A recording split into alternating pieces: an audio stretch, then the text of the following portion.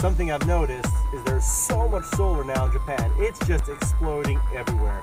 So what I want to do is show you a bunch of videos of where they're at and what's happening to give you an idea of the extent. I don't think any other place in the world is solar exploding like it is in Japan. And I believe that they're going to surpass Germany in having more renewable energy supply.